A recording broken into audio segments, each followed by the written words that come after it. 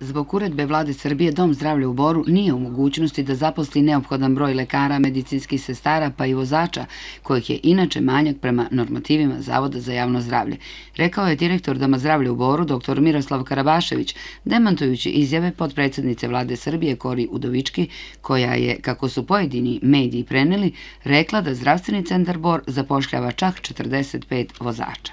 Izjava podpredsednice vlade od pre neki dan je neistina. Znači, u, čak ni dok smo bili zdravstveni centar Bor, nije bilo 45 vozača, a samim odvajanjem od 1. januara Dom zdravlja ima 8 vozača koji pripadaju, deo su ekipe hitne pomoći i tri vozača koji trenutno obavljaju sanitetski prevoz za potrebe Republičkog fonda, bolnice i uopšte znači prenos, prevoz bolesnika totalno neproverena informacija koja je u medijima objavljena e, nanosi štetu domu zdravlja.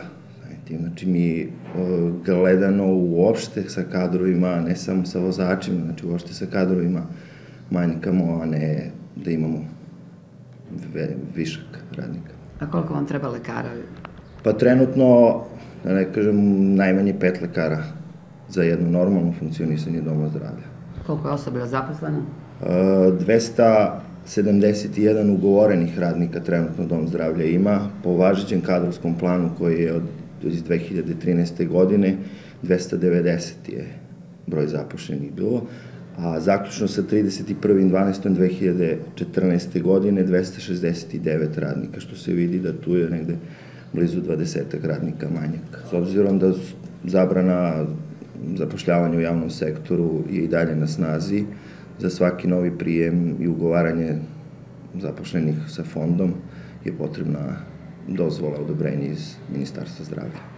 U Borskom domu zdravlja ne žele da njihova ustanova bude loš primjer, jer se zaposleni maksimalno trude da sve usluge budu po zacrtanim standardima države. Nedavno je u Domu zdravlja boravila i komisija za akreditaciju, pa se očekuje da će sigurno uskoro dobiti i dobru ocenu, bez obzira da li će akreditacija važiti jednu, tri ili sedam godina.